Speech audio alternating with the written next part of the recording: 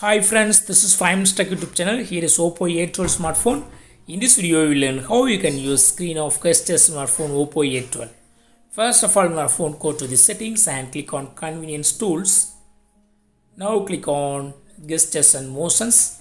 Now click on screen off gestures and turn on the button against screen off gestures. Now first option is double tap to turn on screen. Double tap on the screen and it will turn on. Next draw O to open camera.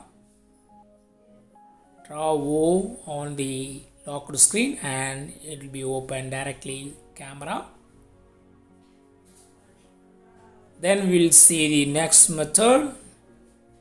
Again go to the same settings, convenience tools, gestures and motions and click on screen off gestures and here next draw V to turn on flashlight. Yes, flashlight is turned on.